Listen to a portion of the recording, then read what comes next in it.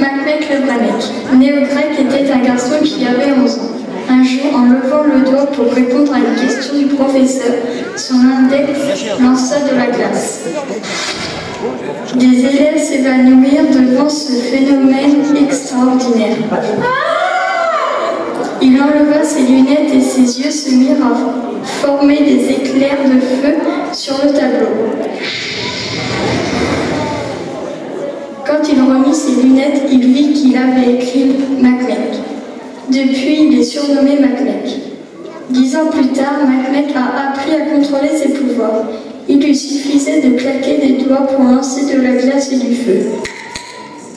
Puis il a découvert qu'en mélangeant la glace et le feu, il pouvait créer un filtre d'amour. Un jour, Macmec rencontra un couple qui se disputait.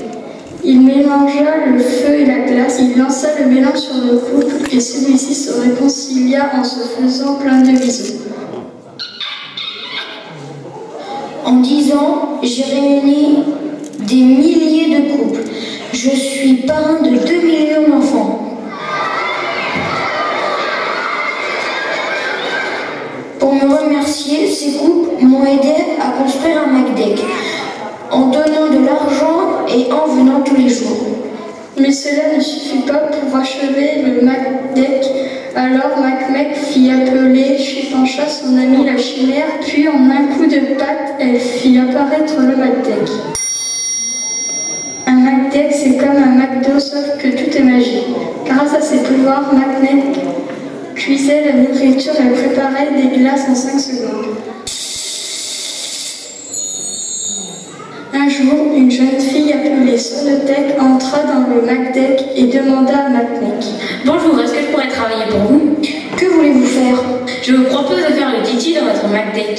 Ah, quelle bonne idée Et Solotech fit apparaître une sono, des enceintes, une bille disco, un ordinateur, des disques et des spots. Macmec fut très surpris. Il faut que je vous explique que j'ai le pouvoir de faire apparaître ce que je veux, dit-elle. Toute la soirée, Solotech mit la musique et tous les clients dansaient et Macmec vendit plus d'hamburgers et de sundaes qu'il n'en avait jamais vendu. Ah.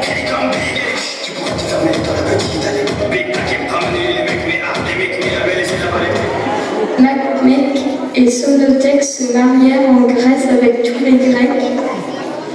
Comme avait le pouvoir de réconcilier tous les couples, ils ne se disputèrent jamais, jamais, jamais, et ils eurent beaucoup d'enfants.